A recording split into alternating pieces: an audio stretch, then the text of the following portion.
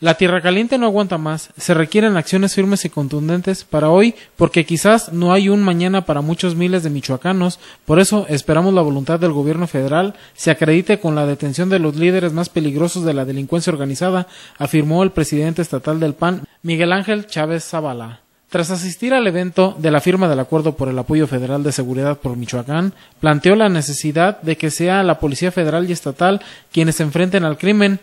que controle y la expansión de los grupos de autodefensa, que asegure la movilidad y libre tránsito de los michoacanos, al igual que se recupere la gobernabilidad y de los ayuntamientos funcionen de manera normal. Precisó que la entidad requiere urgentemente de resultados de la estrategia de seguridad de la Federación, para lo cual este instituto político coadyuvará de dicha estrategia como lo ha realizado permanentemente a través de los alcaldes y legisladores blanquiazules en el ámbito de sus atribuciones. El líder estatal del Blanquiazul aseveró que volver a la seguridad de la tranquilidad a Michoacán es una obligación que hasta el día de hoy ha estado ausente por parte de los gobiernos federal y estatal, lo cual ha ocasionado que los ciudadanos busquen recobrar su libertad, por lo que resultaba imperante comenzar a articular lo que esperamos sea una verdadera estrategia conjunta. Con información de redacción, informa Cuasar TV.